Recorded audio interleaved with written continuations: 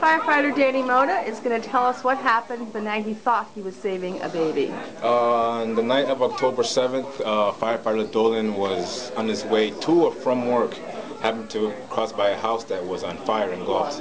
Um, he ran to the back door and saw the fire and heard a scream or yelp in the house.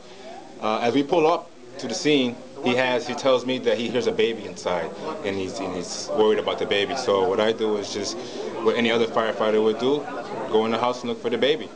Uh, as I get closer to the screams and yelps, I kind of realized that it was a kitty cat that was uh, that was my baby. So when I finally got to her, I really didn't get to rescue because she ran on her own. So when we got her out the house, I ran out the house and we put the fire out. That's pretty much how it went So down. you ran through a burning kitchen. Somewhat, yes. Okay, and did you take the cat with you, or? I didn't get to touch this cat really. As soon as I got close to it, it took off. It found its well, it found its own way out.